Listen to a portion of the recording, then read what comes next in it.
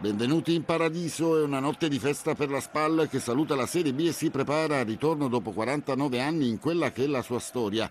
Squadra con turnover che più turnover non si può, così come nel Bari che chiude il campionato con molti rimpianti.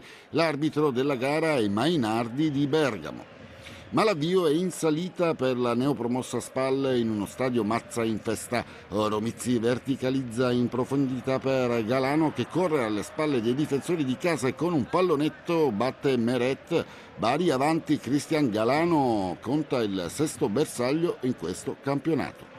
11 minuti dopo la SPAL trova subito l'iniziativa vincente con Zigoni che vola verso la porta, poi una traiettoria strana con la complicità degli ospiti e il pareggio e cosa fatta. Gianmarco Zigoni per lui la decima rete nel campionato della promozione. Mezz'ora di gioco, la punizione dall'out destro e di Del Grosso, esecuzione interessante a giro, pallone oltre la traversa. È un momento di grande pressione della spalla, Castagnetti scaglia la conclusione insidiosa a fil di palo.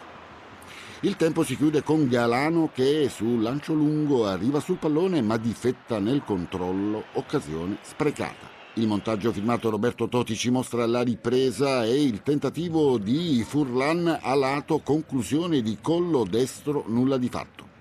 Ancora Bari, angolo di Galano, in area, botta sicura Salzano, salva a Castagnetti. Ma la spalla trova l'energia giusta nel finale del grosso, il traversone Zigoni di testa, Gori, grande parata e poco dopo ancora il portiere ventunenne subentrato nel secondo tempo salva prima su Antenucci e poi cede al gol di Gianmarco Zigoni, doppietta per lui e il 2-1 con Zigoni migliore in campo in una partita emozionante tra chi ha centrato il sogno e chi deve rinviarlo.